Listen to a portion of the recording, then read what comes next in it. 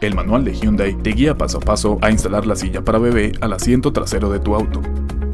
Coloca bien la silla en el centro de los asientos traseros de tu Hyundai.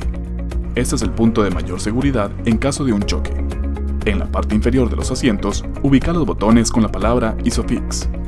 Debajo se encuentran los anclajes bajos para las fajas de la silla. Asegúrate de socarla bien. Hace lo mismo con la faja del otro lado de la silla. Abrí la cajuela de tu auto.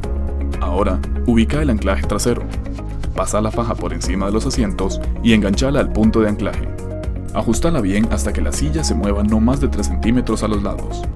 El asiento para tu bebé ahora se encuentra correctamente instalado.